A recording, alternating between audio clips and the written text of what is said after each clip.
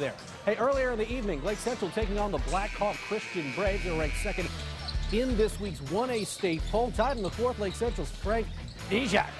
From the low block, Lake Central goes up four, but Blackhawk goes to Preston Rippey. He's inside for two, providing some leadership for this Blackhawk team. It's a 46-44 game at that point. Then Riley Rimschissel, the steal at the defensive end, going coast to coast. Respect the headband He's in there to tie the game at 46. How about Wesley Davidson?